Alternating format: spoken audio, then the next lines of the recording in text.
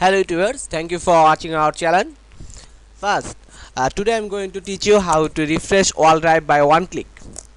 First you have to go to folder option. Folder uh, then you have to remove the check uh, check sign then click apply. Okay. Then create a test document file new then click text document. Then write as you wish. What you like to write. Uh, I write uh, if, to save as it at bat file. Dot bat. Then click enter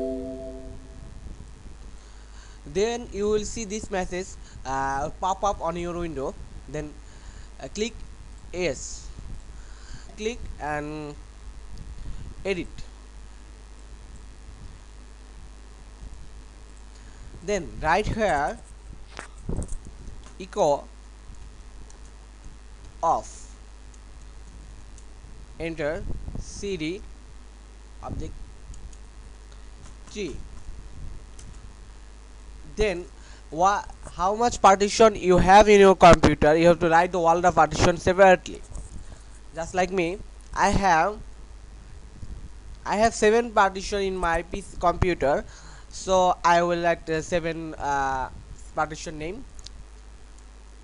Okay c clone you have to write it uh, the capital letter c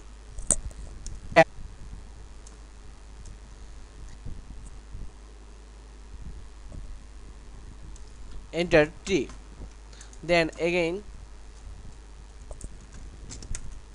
D3 then ET just like me you have to write same as the uh, how much the partition you have uh, the partition name and then select then write it.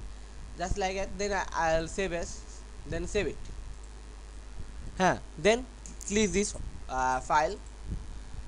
Look the all the drive is refreshing. By one click I click on and when you need to refresh your computer just click it. You will refresh automatically.